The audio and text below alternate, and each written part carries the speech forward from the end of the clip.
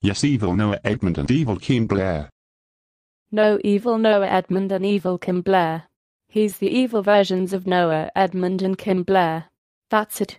You are extremely grounded. Go to your room right now.